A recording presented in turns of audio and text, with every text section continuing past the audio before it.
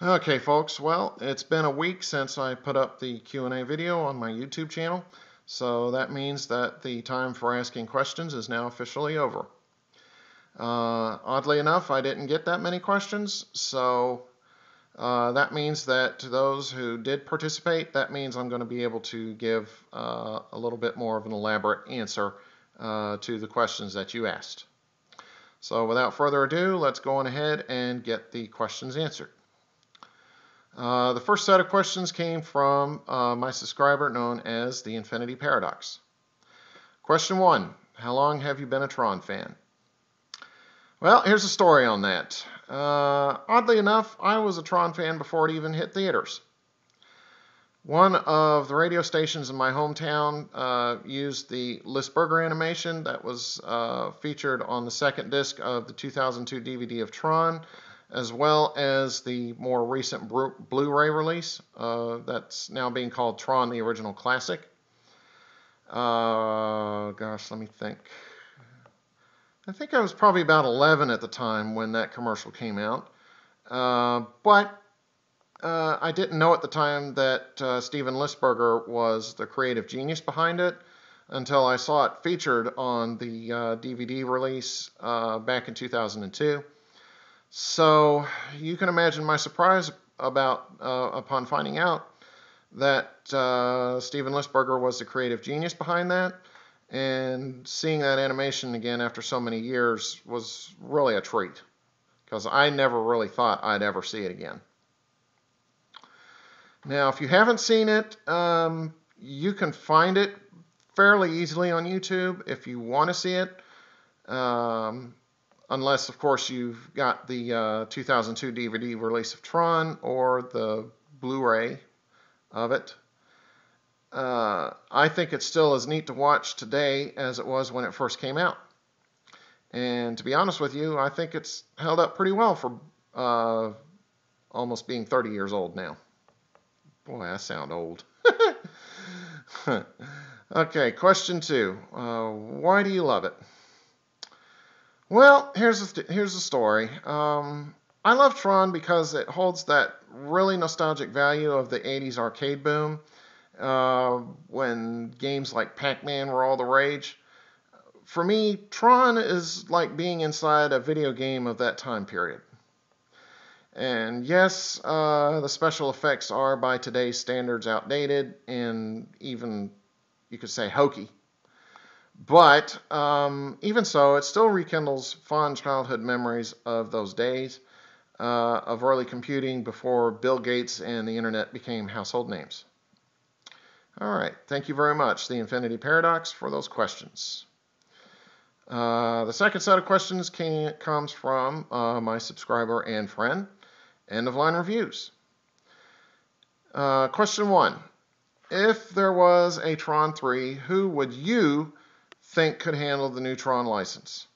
I honestly don't think that Spin Master would be chosen due to some fans dubbing their work on the 3 and 3 quarter inch figures as really shoddy. All right. Um, let's see.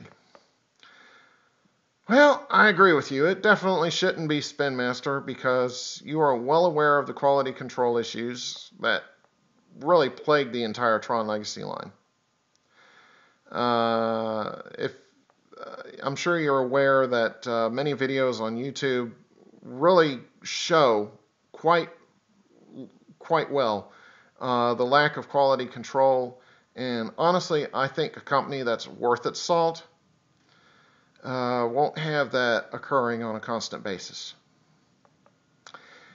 Uh, it's I think it's really disgraceful that the quality control issues went went on as long as they did and I think that's probably one of the main reasons that explain the overall lack of sales on their Tron Legacy line of products, uh, in spite of the neat gimmicks.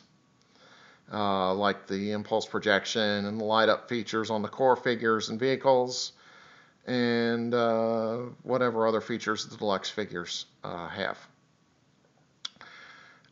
Uh, if I had a choice, uh, gosh, I I think I'd like Hasbro to get it.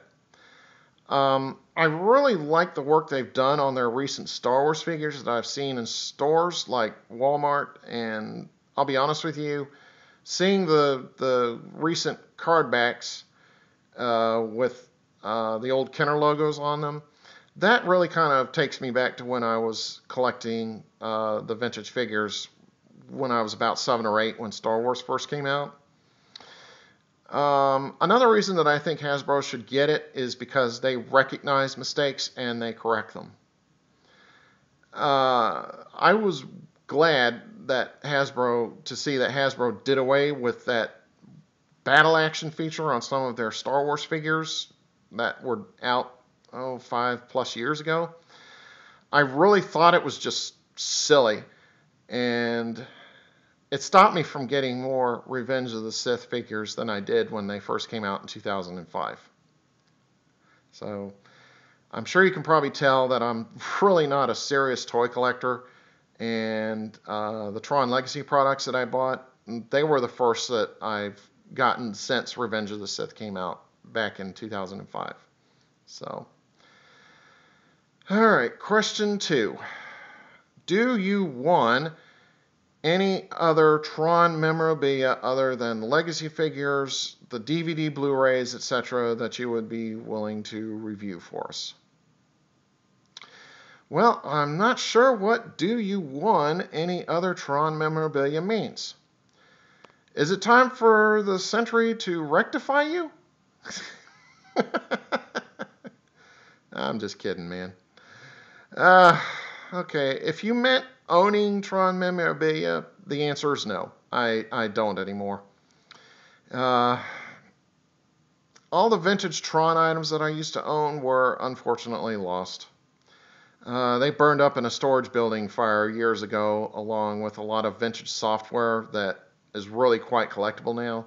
And trust me, I was really teed off that that that incident occurred.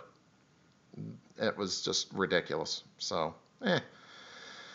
Uh, I know the vintage Tron stuff pops up on eBay from time to time, uh, but here's the story. I stopped using eBay years ago when they changed their policy to force sellers to take PayPal instead of money orders.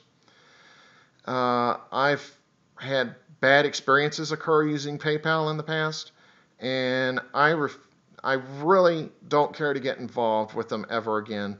Uh, that's why I call eBay Screwbay uh, whenever I post on sites like tronsector.com. Okay, so I'd like to thank once again the Infinity Paradox and End of Line Reviews uh, for their questions. And on that note, take care and stay tuned for my next review. Have a good one.